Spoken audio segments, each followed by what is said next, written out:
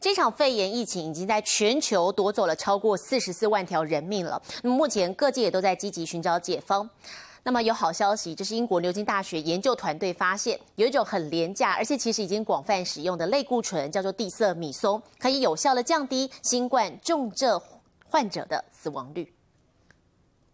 I'm absolutely delighted that today we can announce the first successful clinical trial for a treatment for COVID-19. 英国当局十六号宣布好消息，牛津大学研究团队对六千多名新冠肺炎患者进行药物实验，其中两千多名住院患者使用地塞米松治疗，结果发现地塞米松仍让使用呼吸器的病患死亡率从百分之四十降到百分之二十八，而需要氧气治疗的病患死亡率也从百分之二十五降到百分之二十。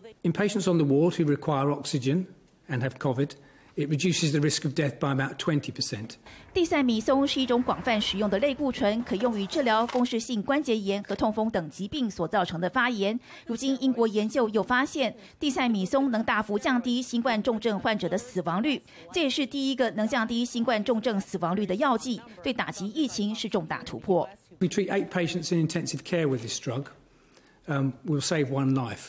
And the total cost of treating all eight patients is only about forty pounds. 加上地塞米松价格低廉，十天疗程每位病人只要约台币一百八十五元，对疫情严重的贫困国家是一大福音。也难怪在试验结果出炉后，英国卫生部就火速批准，让国民健保署使用地塞米松来治疗新冠患者。We've been stockpiling it since March, so we now have 200,000 courses that are ready to go. And we've taken steps to ensure we have enough supplies, even in the event of a second peak. 不过，专家也呼吁民众不要自行购买在家服用，因为这款药对轻症患者并没有太大疗效。明新闻综合报道。